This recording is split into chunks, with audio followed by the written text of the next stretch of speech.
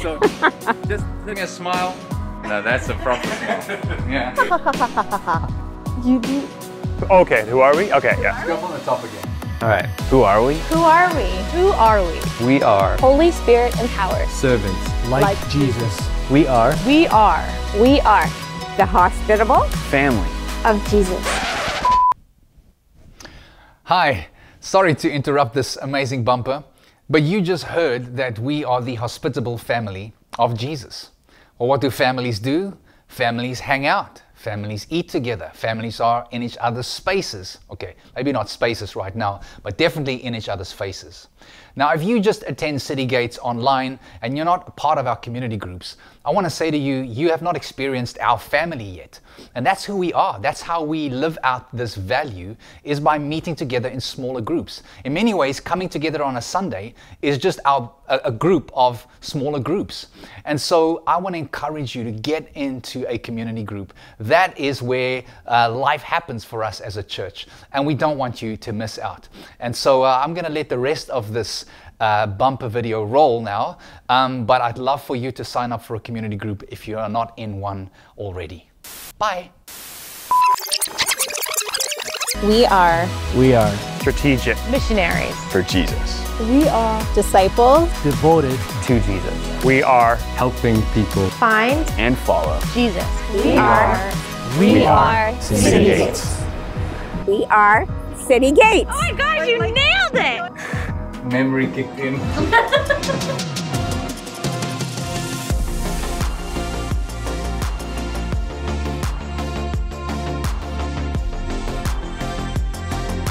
Good morning, everyone. My name is Elaine, And I'm James. and welcome to City Gates at Home. We are so glad that you joined us today, and a special welcome to our guests. If you're new with us, thank you for deciding to spend your morning with us.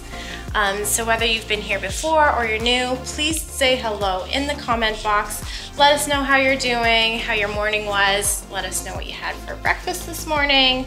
Um, I think we probably had pancakes because we have Sunday pancakes. Yeah. Um, Church Center app. Uh, if you haven't heard about the Church Center app, you haven't been listening in the past couple weeks. If you have and you haven't downloaded it, download it now. It's available on Android and Apple. So grab your phone, download it. It's a very useful tool that we're using more and more at City Gates. Um, one main thing that we use it for is allowing us to check in.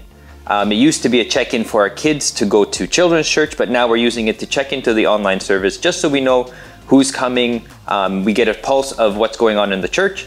Um, another way we you can use it for is watching sermons. Um, there's also the calendars and events that are on it. So hopefully this summer, as uh, Ontario opens up, we'll have more uh, events throughout the summer. And last thing is information about our community groups. Um, the past couple weeks, we've been doing what we call a community group mix up. Um, this basically enables other people to check out other groups just to see some fresh faces during the week um, and be able to have more connection throughout the church and not just the same uh, community group that you've had with. Um, and if you need information on that, it's citygates.ca slash groups. Um, if you're a guest with us today, just ignore this next announcement. Um, but we want to say thank you to those who are regularly giving. Uh, it's because of your generosity that we're able to do this every week. And so thank you so much um, for continuing to give. If you would like to give for the first time or for the second time or however many times, um, the ways that you can give is right on the screen somewhere. Um, so you can just follow those instructions and can give. Yeah, so giving is one of our ways to worship, and we are going to move now into another form of worship, which is singing. So join us while we sing.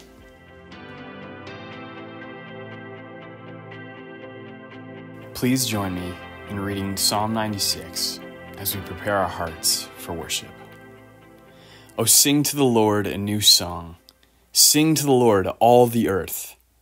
Sing to the Lord, bless his name, tell of his salvation from day to day. Declare his glory among the nations, his marvelous works among all the peoples.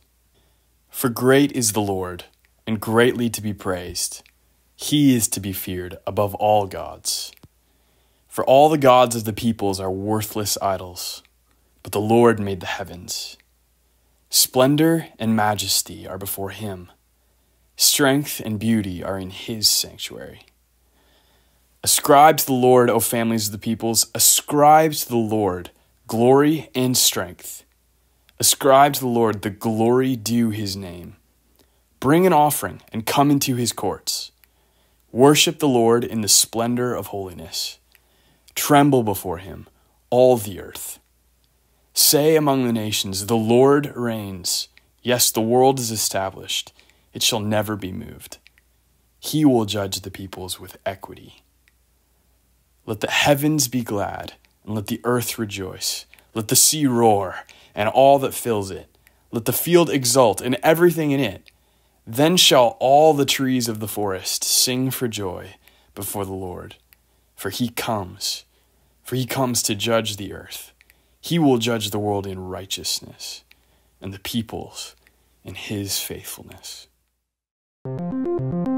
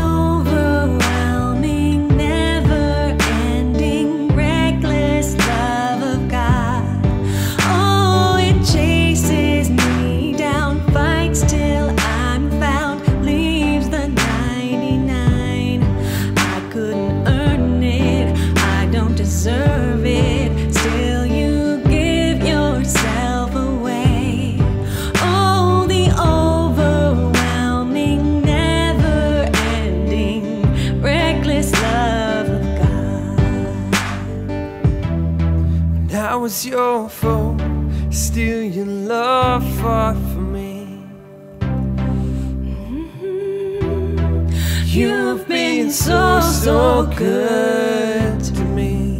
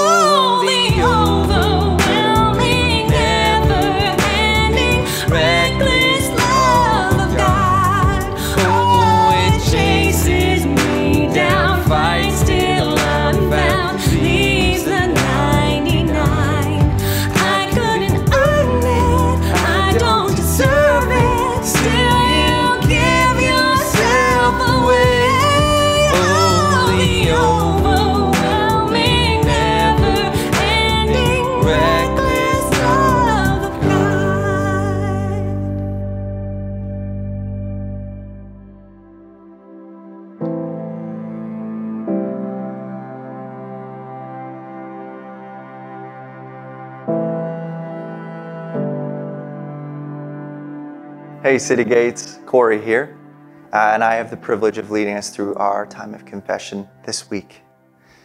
We've been reading a lot about uh, inheritance and adoption into God's family, and First Peter mentions that we were ransomed from the futile ways inherited from our forefathers.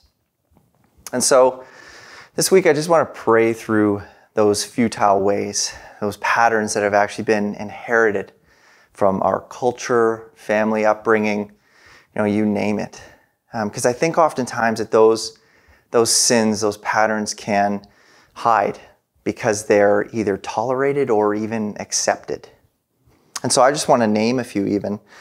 Let's pray through things like ambition, that is selfish, pornography, love of money, uh, wasted time in the form of scrolling through social media or just seeking identity in anything like politics or career or country, just anything that is not Jesus.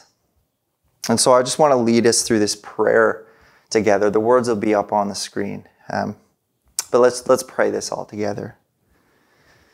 We confess, our Father, that we do not live up to the family name. We are more ready to resent than to forgive. more ready to manipulate than to serve, more ready to fear than to love, more ready to keep our distance than to welcome, more ready to compete than to help. Forgive us. Show us what it cost you to give up your son, that we might become your sons and daughters and receive your inheritance.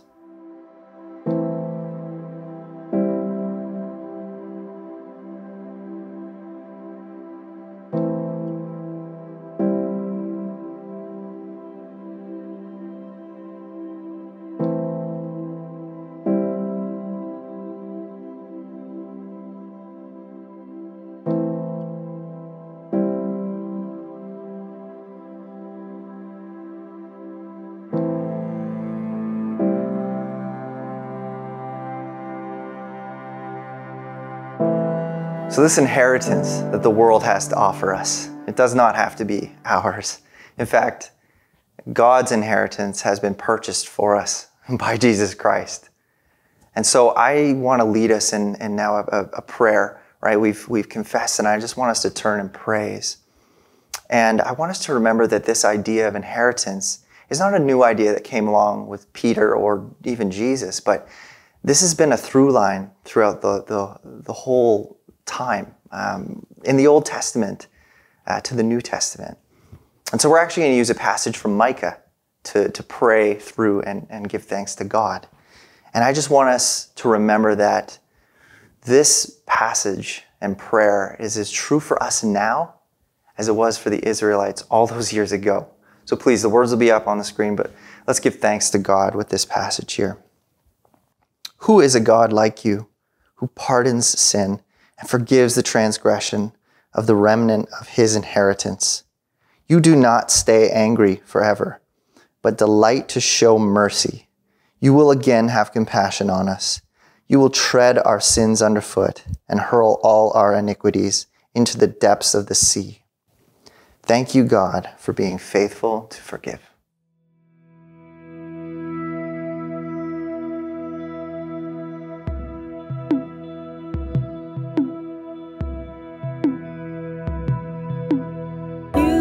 You stood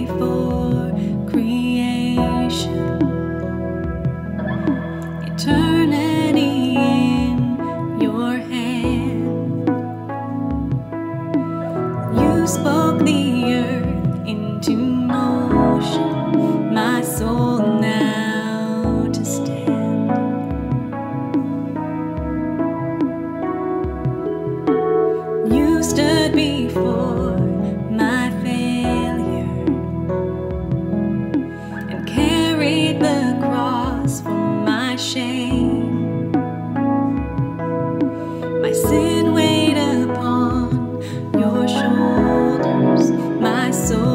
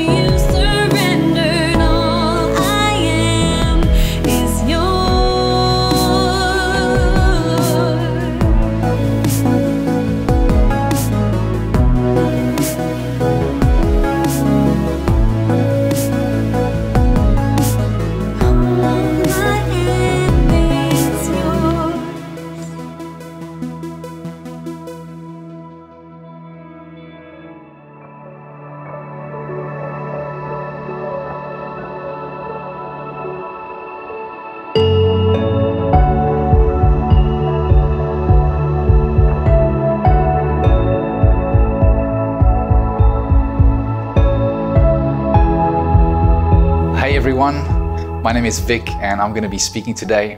Uh, thank you so much for joining us. Uh, we are in the middle of a, of a series out of uh, the letters that Peter, who is an apostle, a disciple of Jesus, wrote to a bunch of churches uh, in what is today called as um, uh, known as modern day Turkey. Uh, and we are in chapter two, and we're going to read about seven verses. Uh, some of these verses we did read last week. Um, but we're going to just look at them again and, and find some new truth in there. Um, and so, if you have your Bibles with you, do open up to 1 Peter chapter 2. Otherwise, of course, you can follow along with me on screen. Uh, verses 4 to 10 reads like this As you come to him, a living stone, rejected by men, but in the sight of God, chosen and precious. You yourselves, like living stones, are being built up as a spiritual house, to be a holy priesthood, to offer spiritual sacrifices acceptable to God through Jesus Christ. For it stands in Scripture Behold, I am laying in Zion a stone, a cornerstone, chosen and precious, and whoever believes in him will not be put to shame. So the honor is for you who believe, but for those who do not believe, the stone that the builders rejected has become the cornerstone, and a stone of stumbling and a rock of offense. They stumble because they disobey the word as they were destined to do. But you are a chosen race, a royal priesthood, a holy nation, a people for his own possession, that you may proclaim the excellencies of him who called you out of darkness into his marvelous light. Once you were not a people, but now you are God's people. Once you had not received mercy, but now you have received mercy. This is God's word. Won't you join me as I quickly pray? Thank you, Father, for these words. Would you help us today to receive them, open our ears to hear, open our hearts to receive? And would these words uh, mold us and shape us and transform us more into the image and likeness of your Son, Jesus? We need you, Holy Spirit, to do that now. And we ask all of these things in the name of Jesus. Amen. Uh, if there's a title to today's ser- uh, sermon, it is Stand or Stumble. Are you standing or are you stumbling? And verse 4 here uh, starts off by uh, saying, As you come to Him, as, as you come to Jesus, uh, he, this living stone. Um, and so today is a come to Jesus a sermon. It's a come to Jesus moment, I trust, for many of us, as most weeks should be as we open up the Bible and we speak about Jesus and the gospel. Uh, but I believe today God's going to speak to uh, many of us in a profound way.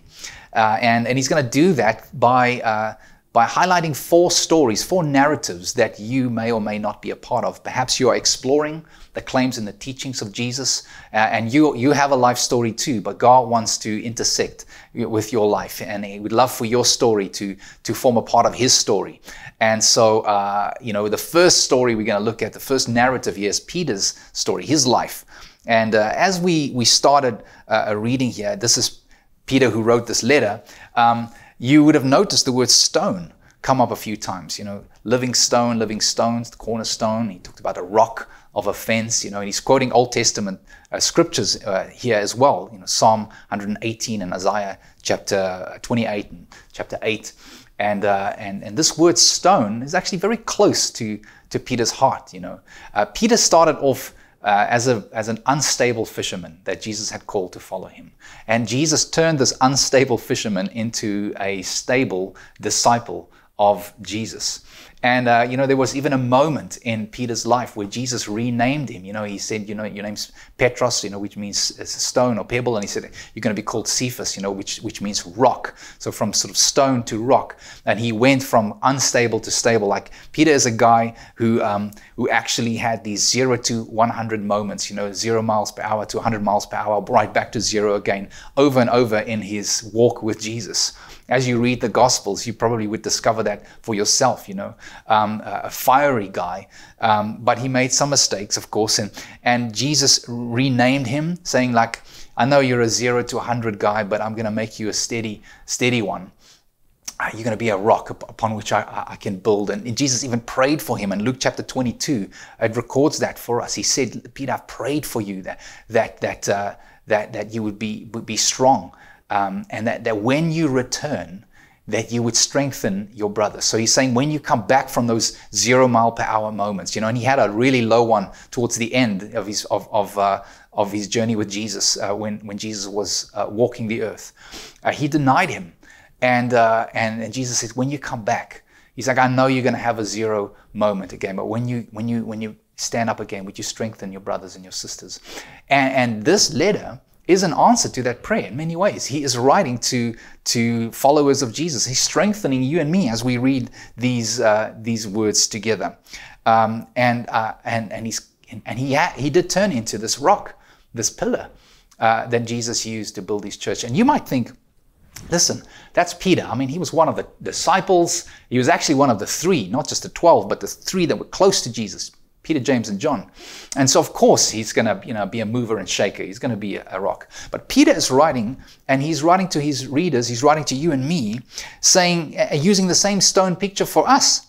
Uh, you know, it's amazing. Peter preached uh, in Acts uh, chapter 4, one of his first few sermons. He preached together with John after they healed someone in the name of Jesus. And they were called in front of the re- religious rulers. And, and they were like, Who are you guys? And, and he he quoted actually from this, uh, the, the, the, he quoted the same verses here about Jesus being the cornerstone. But before that, he said, I'm just a man like you and me. And actually, they noticed, yeah, you're just a man. But the difference here is you had been with Jesus.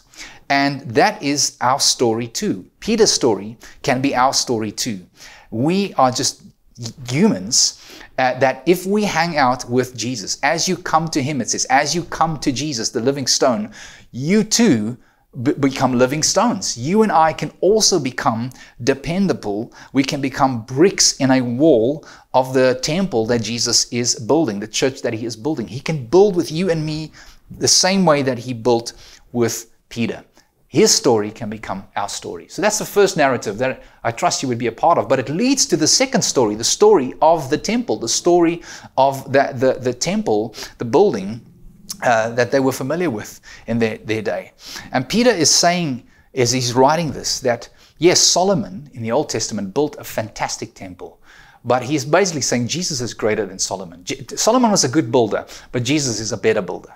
He is also saying that actually Solomon built an amazing temple, but Jesus is building an even greater temple. And it's interesting because the Old Testament, you know, prophesied about you know Israel's rejection actually of of the Messiah of the living stone, uh, even in these verses that Peter is quoting, and and it also predicted the destruction of the physical temple. You know, it was destroyed once and and and and rebuilt and then destroyed again in, in 70 A.D.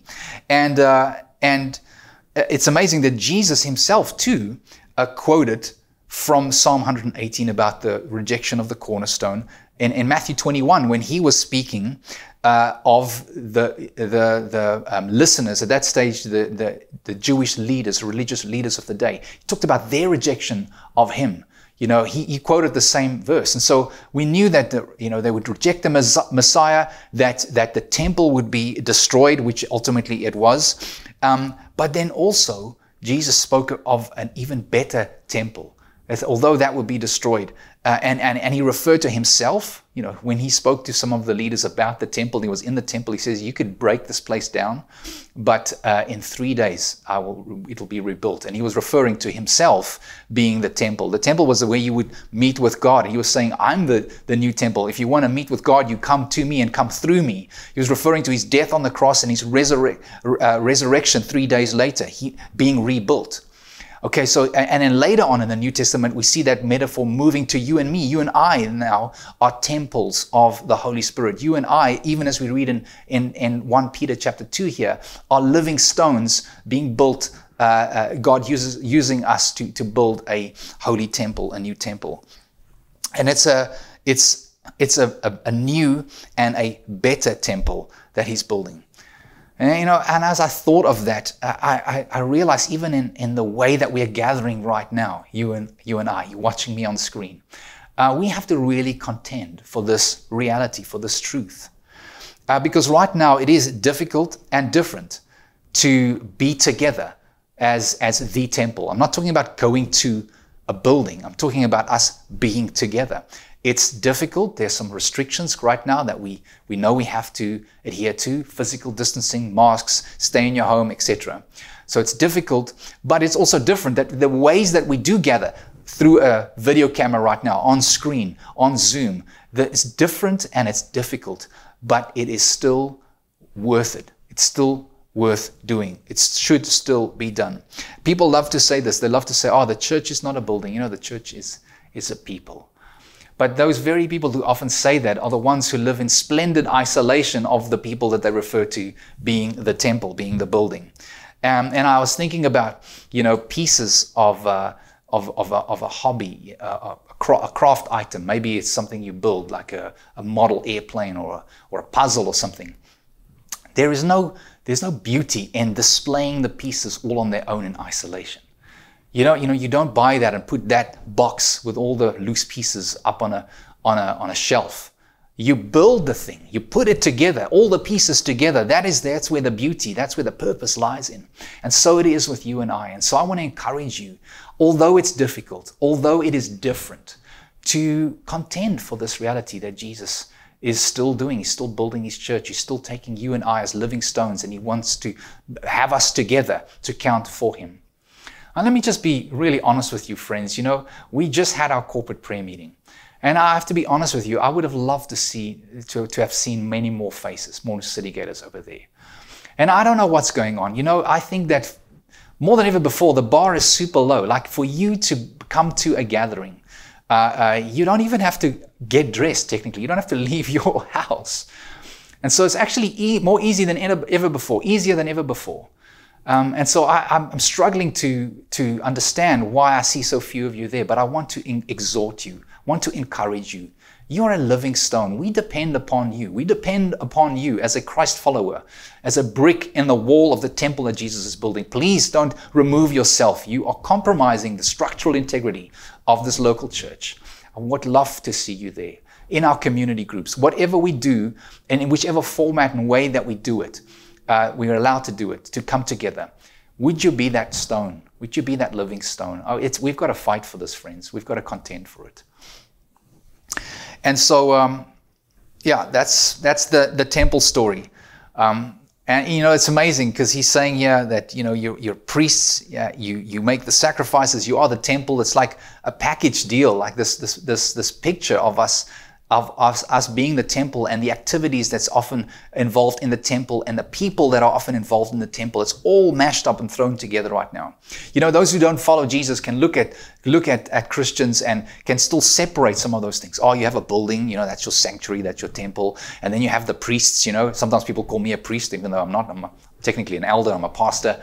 Um, and so, you know, they're the guys who, who hear from God and, and, and who, who speak to God on behalf of the people. And, you know, the people are the ones who kind of, you know, show up and, you know, serve here and make the sacrifices. And, and actually, that's like very bureaucratic. That's actually not the way Jesus is building his church. He's saying, no, you it's all all thrown together. You are a people that is a temple. Uh, you are the priests. You can connect to God through what Christ has done directly. You don't need to depend on someone else. Uh, and you are also the living sacrifices and your works and your service that you do. Uh, you, you, you, you do those too. Others don't do it, you know, on your behalf. You, you do it. and um, of course, he's saying the cornerstone and the foundation is Jesus. And so even if you're not a Christian here and you think, okay, that's what it means, you do stuff for God. No, no, no. Whatever you do, if it's not upon Jesus, if it's not through Jesus, as it says here, it's not acceptable to God. It will not stand in the end. Whatever you do apart from Christ will not stand. And so all of us as Christ followers, we, we, we admit that He is the cornerstone. He is the foundation. And a cornerstone, you know, provides the angles. It provides the, you know, it gives, it gives the blueprint of the rest of the building. We get that from Jesus. It's built upon Jesus. It's all because of Jesus. Um, nothing we do is apart from Him because anything we do apart from Him will not stand. So anyway, I trust that you would want to be a part of that temple story. And if you're a Christian, uh, let's contend for this reality that we are living stones together. And then the third story is actually, you know, zoom out a little bit, is Israel's story, the nation of Israel. And when Peter uh, writes to them here, he quotes from Acts chapter 19, verses 5 to 6. Uh, you, I'm sorry, Acts, Exodus, Exodus 19 in the Old Testament. You know, uh, Israel had just been rescued out of slavery from Egypt, and so God speaks these words over them. You know that that that sounds like that a chosen race, a, a royal priesthood, a holy nation, a people that's His possession. These are all words that are found in Exodus 19, and, and to the nation of Israel, they were very important statements. It was like their we are statements. I don't know if you uh, watched the service right from the start, but in the beginning, as city gators, we say, Who are we? And we've got these statements that say, We are the hospitable family of Jesus. You know, we are Holy Spirit empowered servants like Jesus. Like, this is our identity. This is our, this is our DNA. Their DNA, their identity were found in those words. And here, Peter throws open those words even wider than the nation of Israel. And he's saying, Any follower of Jesus, actually, this applies to. If you're a follower of Jesus, you are now a chosen people, are God's precious possessions. And, and, and you can see why Peter and his friends were persecuted to the extent because uh, you know the, the, the nation, the Jewish nation, were very proud of the fact that, that, that they were chosen by God. They didn't want to share that. And here Peter and the disciples now come uh, and, and say, no, this is now for everybody. And so, of course, the uh, persecution resulted. Um, but you know, Peter is not saying that the church, this, this, this new temple, is replacing Israel. Not at all. He's saying that the story that God began through the nation of Israel carries on, and actually, Israel or, or Jews can step out of that story if they reject Jesus, they re- reject the cornerstone, and Gentiles like you and me, non Jews, can step into that story if we accept Jesus as the Messiah. And as we accept him as the Messiah, as the cornerstone, those words spoken over Israel are now spoken over you and me. It's now true for us as well, for everyone. It's an amazing thing. And so he goes on by, you know, using these terms. Let me explain them a little bit. Uh, you know, uh, Israel was a chosen race, you know, and he says, You now, as a Gentile believing in Jesus, you're a chosen race too. You are a holy nation. And these are powerful realities. Uh, you know, a holy nation, a chosen race. But it means our primary identity is now that of being a Christian. And our secondary identities, like our ethnicity or where we come from, our race, that, that comes, comes second now. The primary thing is that we're Christians. We are citizens of heaven first. It's amazing because people, uh, people, Peter is writing to people here in their own home countries, in their home lands, in their hometowns, and he's saying to them, if you're a Jesus follower, if you're a Christian, you are now an exile. You, you are now a foreigner in your own homeland. This is the, the, the, powerful thing that happens when you put your faith in Jesus and God becomes your Father. You are now a chosen race, a holy nation. And I think even in our racially, racially charged world that we live in, where there's lots of tension, tension right now, I can see how the gospel can actually bring ethnicities together with this reality, this truth that actually that is secondary and, and Jesus and, and his kingdom is pri- primary. Actually, we, we realize that Jesus therefore brings all ethnicities and all races together under one name, under, under one, in one kingdom. And, and therefore we can actually advocate, I think, for racial justice more. We have a premise that I think is stronger than what the world has. And, and we don't fall into the trap even of elevating our race or our ethnicity over another one um, because actually, uh, you know, we, we don't put it in the place that it, not, it should not be. Um, and we're quite happy to, to stand for and, and, advocate for justice uh, uh, when it comes to, to other ethnicities and other races and other nations, other contexts. And so I, um, I think it's a powerful statement about who we are as Christians.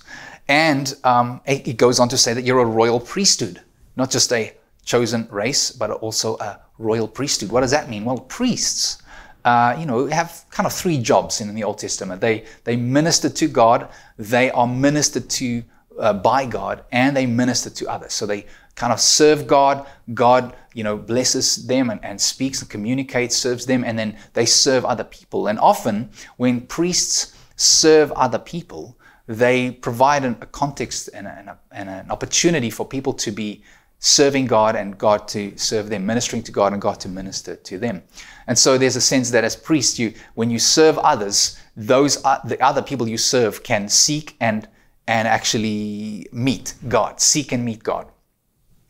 And, and uh, that's why he says you, you're this amazing nation uh, called out of, uh, uh, called to proclaim the excellencies of him who called us out of darkness into light.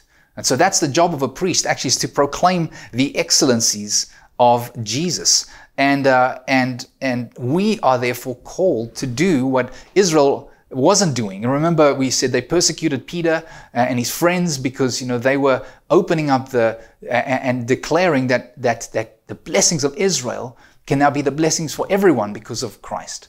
Uh, and they no, no, we can keep it to ourselves. And actually, now as a royal priesthood, we can do what they failed to do. Even Jesus, when he quoted uh, from from uh, you know, from Psalm 118 uh, in Matthew 21 about the cornerstone, you know, being rejected. He was saying the same thing to his listeners. They, he said, you know, you historically you, you you're better at fighting other people than inviting them in. Better at keeping them away than bringing them closer. And uh, even now, I mean, you know what's happened in the news this this this last week with all the fighting that happens uh, at the Temple Mount in in um, in uh, in Jerusalem. Um, I mean, this is uh, this is this is the reality. Is that that is a byproduct of missing the real temple, missing the Messiah, missing Jesus. You you can actually see that that two ethnicities, um, two races are, are at enmity with each other, and and Jesus actually came to abolish that and wants to open it up to all people, all nations. Um, and so we must not fall into that trap where we feel like, oh, this is just for me, this is just for us, and, actually have that uh, that that um, that openness, that willingness to share the gospel with any and everyone. Now, a sad story I can tell you um, uh, is that you know in my neighborhood a few years ago, I met a pastor, I met another minister. They had subsequently, you know, they've moved out of the area, but so one thing that, that really bothered me was was uh, the, the, their reference to so many immigrants and foreigners in the area, and felt like they wanted to leave as a result of that. I just couldn't understand that. I mean, first of all, I'm an immigrant, you know, I'm a South African living in Canada. And one of the amazing things that I find of being called to Canada is actually that Canada does, specifically here in Ontario and the Greater Toronto area. We see lots of other nations settling over here. And I find that an amazing thing, amazing opportunity for the gospel to be shared. Uh, and so let's be careful that we don't look at new people in and around our neighborhoods and look down our noses at them because actually then we're missing what he is saying over here. Um, and uh, missing what they called us to do. We are called to proclaim the excellencies of Jesus to others and to minister to others and to serve others with the gospel so that they may seek and meet God. That's the job of a royal priesthood, of you and I. And so let's make sure that happens. And then lastly, he says you're a special possession. And the word used there is, you know, of, of a, of a private collection uh, that an ancient king may have, you know, just private, a treasure collection they have. Like, uh, uh, and that speaks of the value you have and, and how God sees you. You're his treasured possession. Uh, God delights in you. God loves you.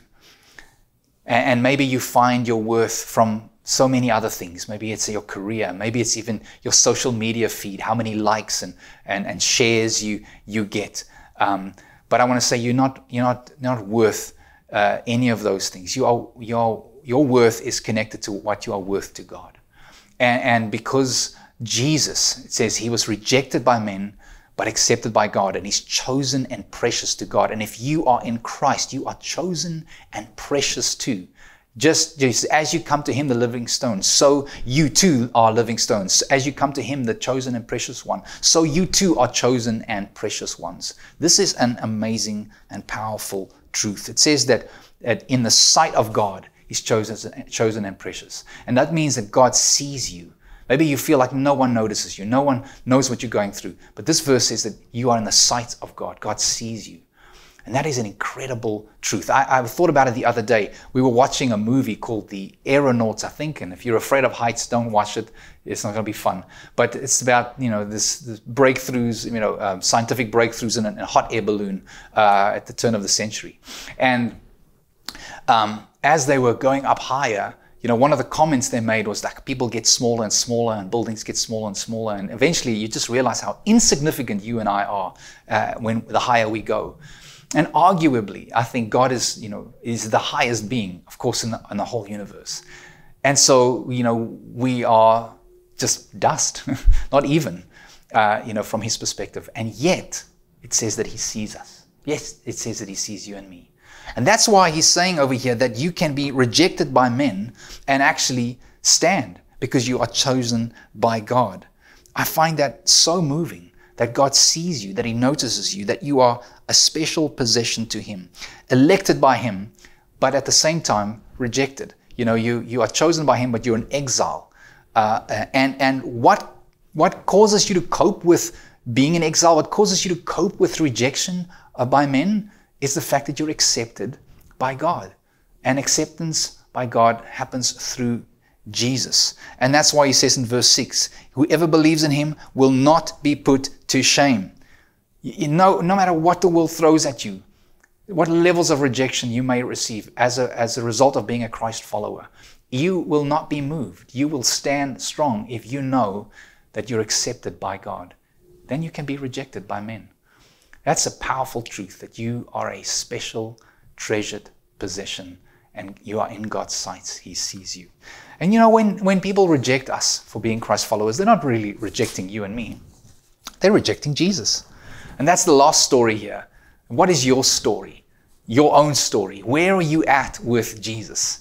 Verse 8 says, you know, he's a stone of stumbling and a rock of offense, and, and that people stumble because they disobey the word as they were destined to do. And I don't want you to trip over that as they were destined to do. All I want to say to you, listen, um, that there's man's responsibility. It says they disobey the word, and there's God's sovereignty about destination, you know, and, and, and as, as people were destined to do. And the Bible's very comfortable always having these two truths in tension that God is sovereign, that He works out all of history the way that He wants it to happen.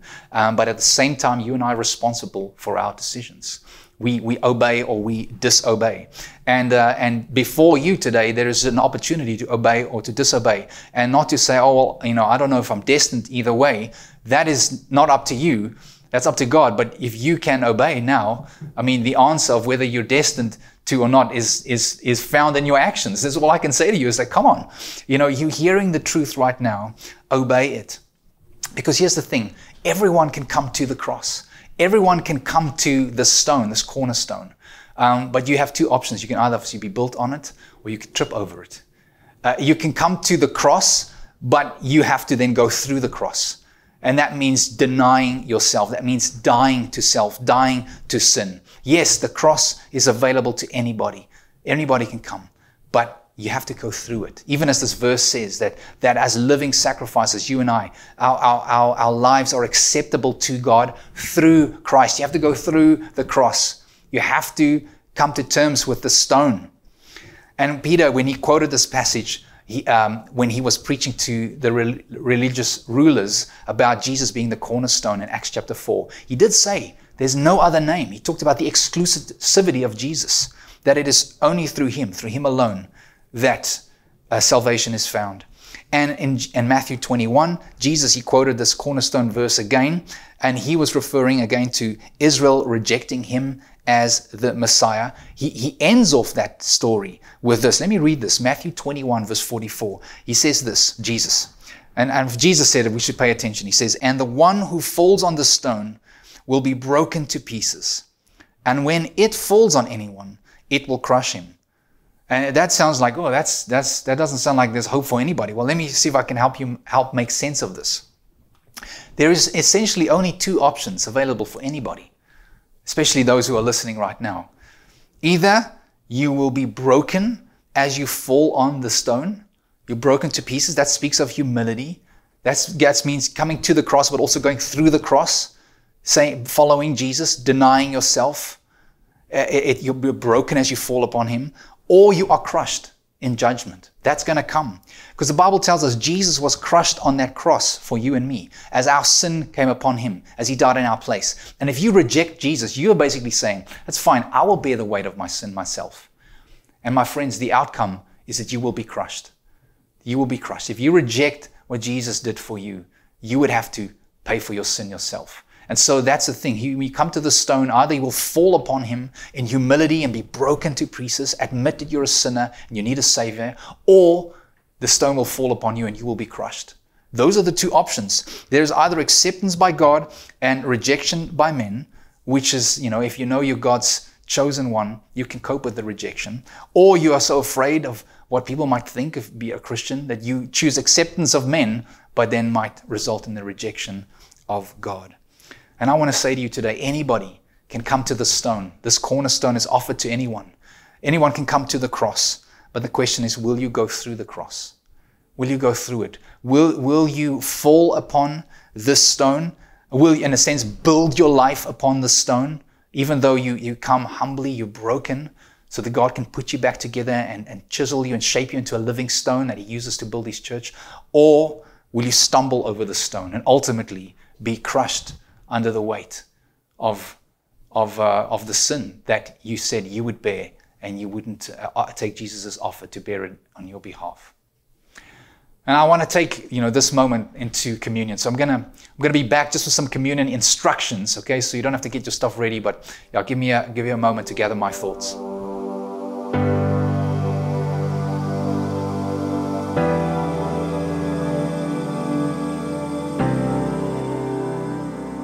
Okay, so I'm not too sure if your community group uh, is doing communion now. Maybe they, you know, pressing pause on this video and you're doing communion, or or uh, maybe it's happening after the service. Either way, uh, when we do communion together as living stones together, you know, understanding that we are the temple. That uh, you do this with do it with these two things in mind. Number one, that you remember that Jesus was crushed for you. You know, as you come to the blood uh, the the juice that represents the blood and the bread that represents his body. This is these are images of Jesus being crushed on that cross to because of your sin, so that you wouldn't be crushed. And then as you as you remember that, remember that this is so that you could be built upon him. Broken, yeah, you come, you, you're broken by what he's done for you. You're humbled by it, yes. But you're not just broken, you're also built therefore on him as broken stones, really, chiseled stones shaped by him, by his hands, uh, and placed into the temple, his church, his people, his body. Would you celebrate those two things together as a community group?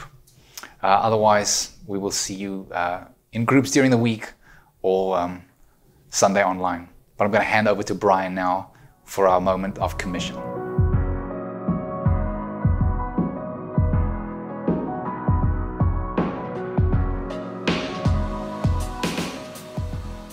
Hey, I'm Brian, one of the leaders here at City Gates. Um, we just talked through 1 Peter 2 about a stumbling block, and it made me think of a story uh, from my life. I went for a walk one time at a family reunion with my aunt, my grandma, and my great grandpa. Uh, and surprisingly, he was a tall guy. I know I didn't get his height. Uh, but on this walk, he actually stumbled over a rock and he fell. And he was over six feet tall, so it was a long fall, and obviously he was much older. Uh, he ended up being fine, but for the rest of the walk, the rest of us, we were just scanning the ground very carefully, watching for anything that anybody might trip over. Not just for him, but for ourselves as well. We just wanted to make sure that the route was was safe. Whereas before that moment, we were just kind of you know casually walking and chatting away or whatever. Um, and yeah, it just kind of made me think about how with services the way we're doing them now online, it can be really easy to be distracted, really easy to even be staring at the screen, but your mind is somewhere completely different. You're thinking about the chores you have to do this afternoon, or you're thinking about this TV show you've been watching, or anything like that. It can just be easy for things to just kind of go in one ear and out the other. And so I just kind of want to challenge you. Maybe from this message, you did hear something that you stumbled over. Um, and I just want to encourage you to not continue the way you were going, but to let that change your walk, so to speak. To let that change the way that you're going so that now you're looking much more carefully, you're examining much more carefully your walk uh, of where you're going. But maybe you watch that message and you're just sort of waking up now and being like, oh, this is the end part, right? Uh, well, at least I watched it. I would encourage you to go back and watch it again. If you glazed over, if you got distracted, doesn't have to be right now, maybe a little bit later today or tomorrow. go back and watch it again, or even just listen to the podcast and really spend the time to find something to stumble over. Find something that challenges you so that going forward, your walk changes. Uh, if you obviously were stumbling over something in this message, of course, the, um, the chat is open if you're watching this live, but we also have our community groups that mid, meet midweek. Um, so be sure to check those out if you're not part of one, and that's a great place for discussions about things that we stumble over on Sunday mornings or even in our personal devotional times. So um, why don't you just let me pray for you? God, we thank you so much that you love us as we are. You love us as we are broken. But God, we also thank you that you love us enough to not leave us in our brokenness, but to call us into new life. Um, so, God, we just pray that if you have caused us to stumble in this service, God, if you have said something uh, through the message or through the worship um, that has caught our attention, God, won't you just continue to work on us through that?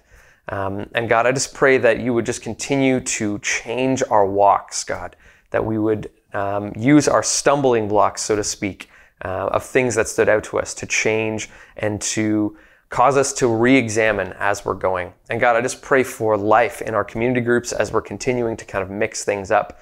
God, won't you just help us to have healthy discussions um, so that you can continue to work on us uh, as the potter molds the clay. So, God, we thank you for everything that you're doing. We ask these things in your name. Amen. Well, thanks for joining us for City Gates at Home. Uh, hope you enjoy the rest of your week, and we'll see you next time.